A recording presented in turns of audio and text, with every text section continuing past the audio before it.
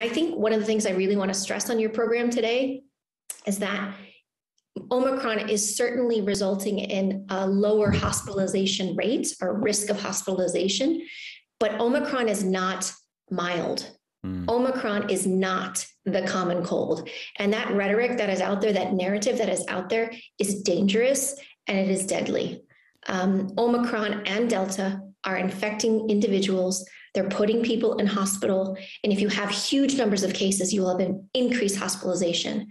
This virus, Omicron, will reach vulnerable populations. It will reach older populations, and we will see increasing um, deaths among those individuals. So to suggest that Omicron is just a mild infection is really, really dangerous. And I think I mm. just want to stress that without scaring the public. But this virus is is is here with us right now and it's circulating. Newscast from the BBC.